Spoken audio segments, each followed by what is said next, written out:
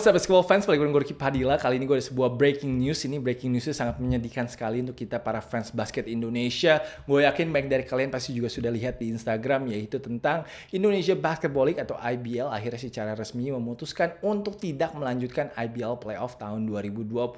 Jadi tadi lewat account Instagram mereka, mereka membuat sebuah surat terbuka kepada para fans IBL di mana mereka mengatakan bahwa karena situasi COVID-19 yang belum membaik di Indonesia, makanya IBL tidak bisa menjalankan IBL IBL Playoff tahun 2020 ini. Tadi juga katanya Bapak Junas Miradiarsya, CEO IBL juga melakukan press conference, tapi gue nggak ngeliat, tadi gue nggak benar-benar nggak nonton, jadi gue miss. Uh, tapi di sana kayaknya secara personal mengatakan bahwa memang IBL Playoff ini tidak bisa dilanjutkan. Reaksi pertama gue jelas sedih sekali karena gue udah excited banget untuk IBL Playoff ini. Tapi pertama sebelum kita ngomongin diri gue, kita akan ngomongin tentang orang-orang yang terlibat dengan IBL. Ini menurut gue protokol yang sudah disiapkan IBL. Ini gue sempat interview dengan CEO IBL yaitu Bapak Jurnas ini kan di channel gue. Dia tuh kayak udah siap banget dengan semua protokol kesehatan untuk saat pemain masuk ke bubble, saat pemain tinggal di bubble, hingga sampai saat pemain uh, bertanding di bubble itu semua sudah disiapkan. Dan itu gue shout out untuk Junas dan juga para staffnya IBL. Menurut gue mereka sudah bekerja keras untuk memikirkan segala kemungkinan dan juga memikirkan segala cara agar IBL playoff bisa dijalankan. Tapi memang masih belum beruntung dan belum rezeki IBL ini jalan.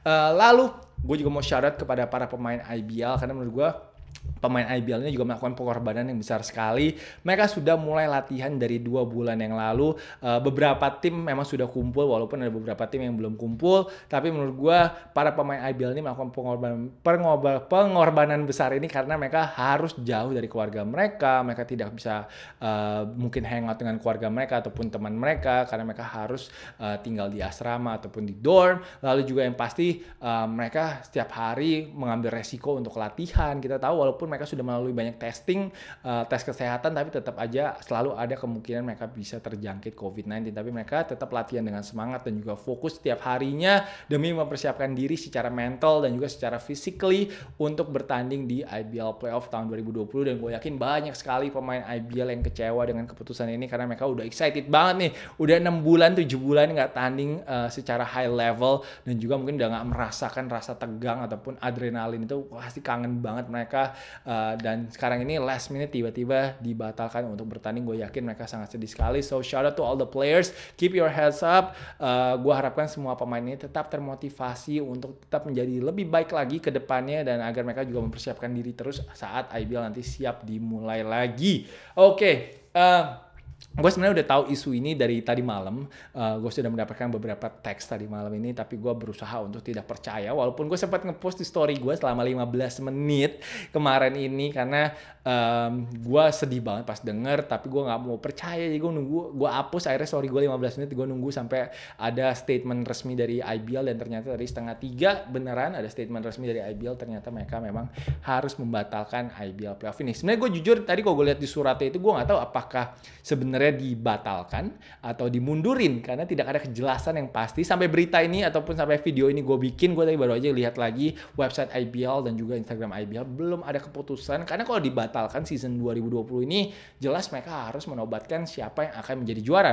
Nah sekarang ini ada di posisi teratas jelas adalah NSA Jakarta. Jadi kita tunggu aja nanti mungkin ada informasi lebih dan juga informasi tambahan dari IBL uh, tentang kelanjutan ini. Tapi kemarin ini memang ada yang nanyain gue juga memang kalau pindah kota gimana kok? Nah, kalau ini kan orang masih banyak nanya, emang IBL nggak ada plan B, C, D gitu kan? Uh, Sebenarnya kan plan A-nya adalah main September, tapi kan waktu itu waktu bulan September kan kalau mau main tanggal 4 September ya, itu juga nggak bisa bermain. So ini sebenarnya udah plan B. Plan B uh, mulai tanggal 13 sampai 27, tapi ternyata nggak bisa jalan juga.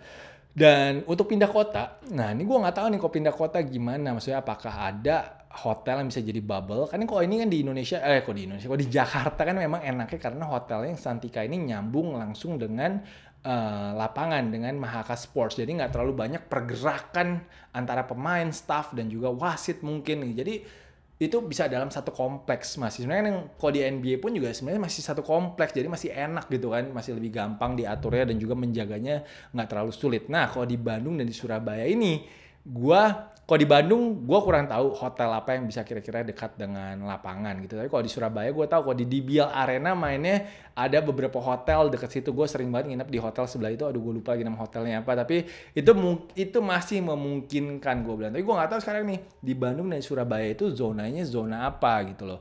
Kalau di Bandung memang gue lihat kayak main ada yang berani menjalankan sebuah turnamen untuk U35 dan juga over 35 itu gue nggak tahu uh, protokol kesehatannya seperti apa yang dijalankan. Gue penasaran juga.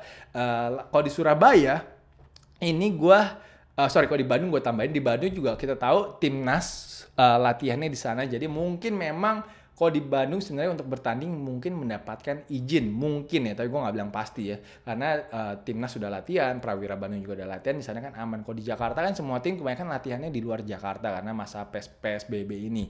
Nah untuk di Surabaya gue nggak tahu juga Surabaya zonanya zona apa kita tahu waktu itu zonanya salah satu yang paling parah gitu. Tapi katanya sekarang sudah membaik kalau gue denger denger uh, pemain-pemain basket pun sudah pada main. Gue lihat sudah sering banget yang nyari lapangan. Jadi gue kurang paham kalau plannya IBL bagaimana tentang beda kota atau pindah kota itu nanti mungkin siapa tahu nanti IBL bisa memberikan itu bisa menjadikan itu sebagai opsi kita tunggu aja nantinya. Tapi yang pasti uh, eh, gue sedih banget karena gue sebenarnya udah ngeplan semuanya. Uh, jadi gue sudah sempat kontak-kontakan juga dengan orang medianya IBL bahwa gue bilang gue tertarik banget untuk bikin highlights uh, karena memang para subscribers gue suka banget dengan highlights dan nanti gue gue pasti akan uh, bikin reaction juga tentang pertandingan-pertandingan dan mereka uh, eh, IBL pun juga udah excited banget mereka pengen gue liput. Jadi gue kemarin udah ngeplan bahwa hari Sabtu ini gue akan melakukan swab test. Jadi kalau gue ada swab test uh, gue bisa dapatkan surat gue negatif itu gue akan aman untuk ngeliput IBL even sama istri gue pun udah bikin plan bahwa selama dua minggu ini kita nggak akan tinggal bareng uh, agar gue bisa ngeliput IBL uh, sayangnya plan itu tidak bisa berjalan, uh, rencananya berbeda. Uh, jadi sangat sedih sih sebenarnya gue udah excited banget karena kan gue udah lama banget nggak liputan juga karena uh, seru kalau bisa liputan basket. Itu enam bulan gue terakhir mungkin ngeliput awal Maret kali ya gue inget kayak di Lokasari itu liputan terakhir gue itu udah lama banget gue juga pengen banget uh, merasakan atmosfer lagi uh, para pemain ini kompetitif dan juga nggak mau kalah adrenalin. Itu gue juga pengen ngerasain dan kemarin tuh gue udah semangat banget dan udah belum bener kayak gue nggak mau keluar ke mana-mana gue nggak mau ngeliput apa-apa sampai IBL playoff. Tapi ternyata IBL playoff dibatalkan nah uh, sedih tapi ya kita mau gimana lagi. Namanya juga belum rezeki untuk menonton IBL jadi kita doakan aja yang terbaik untuk IBL agar mereka segera bisa melanjutkan kompetisinya. Nah yang gue cemburu adalah sebenarnya gue kemarin lihat uh, Vietnam. Jadi gue main lagi main Instagram, lihat Instagram Story, uh, para pemain Vietnam sudah mempersiapkan diri untuk VBA ataupun Vietnam uh, Basketball Association ya kalau nggak salah. Itu liga profesional mereka. Mereka main baru aja launching setahu gue mengadakan sebuah press conference. Itu semua nggak ada yang pakai masker. Jadi kayaknya memang case-nya udah nol ya kayaknya kalau di Vietnam itu. Jadi benar-benar di negara mereka tuh aman sekali. Itu kenapa mereka bisa menjalankan liga basket mereka. Dan itu gue pas ngeliat gue ngirinya ngiri banget karena gue udah pengen banget merasakan merasakan hal tersebut lagi uh, tapi tampaknya kita harus bersabar. Nah kayak di even di Thailand pun kayaknya udah oke okay juga di Singapura pun juga case-nya udah lumayan rendah. Jadi tinggal Indonesia aja kita doakan agar situasinya bisa membaik mungkin bulan November ataupun bulan Desember.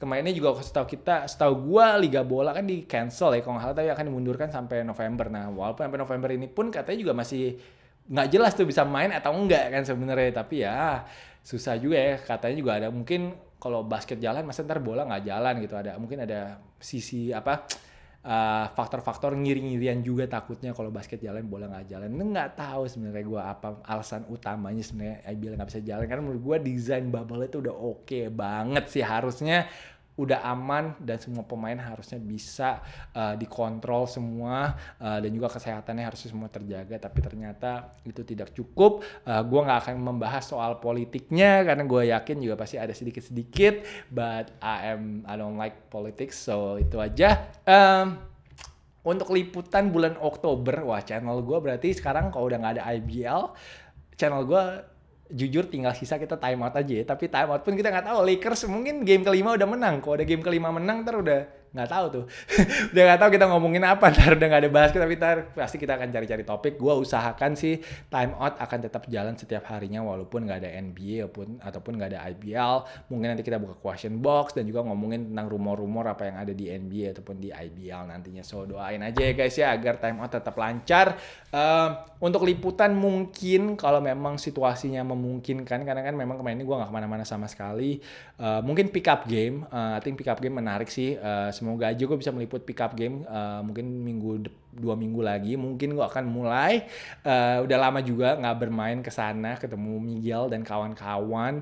Um, bagi yang menanyakan juga gue kadang suka mendapatkan DM ataupun uh, komen tentang Koroki kok udah nggak ngeliput pro handles workout lagi. Kan memang main ini kan lagi PSBB jadi gue nggak berani ke mana-mana. Uh, karena juga gue takut ya kalau jujur gue sebenarnya mikir takut kalau lapangannya itu akan ditutup gitu kalau ada yang nonton terus tiba-tiba orang apa gitu uh, bilang wah kok ada yang masih main basket gitu gue juga sebenarnya takut itu lapangan ditutup jadi gue main nggak nggak ngeliput uh, pro handles lagi dan ternyata memang uh, gue baru tahu juga kalau Pro Handles sudah punya channel YouTube sendiri. Jadi uh, kemarin itu gue udah wish uh, Coach Johannes all the best untuk channel YouTube-nya. So gue sekarang bagian support aja bahwa agar semoga uh, channel YouTube-nya Pro Handles bisa uh, sukses nantinya. So uh, kemungkinan besar ke depannya gue nggak akan kemungkinan nggak akan mungkin collab mungkin masih tapi nggak akan sering lah. Mungkin gue nggak akan bilang nggak akan karena semua itu masih memungkinkan menurut gue.